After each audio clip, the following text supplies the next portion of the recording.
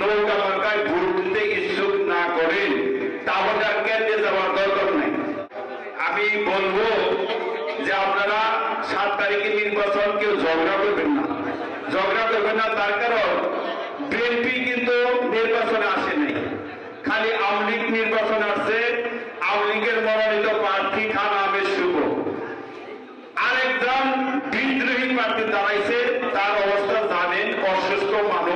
যেগুলো হঠাৎ করে উদ্যোগ নিয়েছে, আশা করব বিএনপির বাইরা যদি নৌকা মার্কায় ভোট দিতে ইচ্ছুক না করেন তাহলে কেন্দ্রে যাওয়ার দরকার নেই।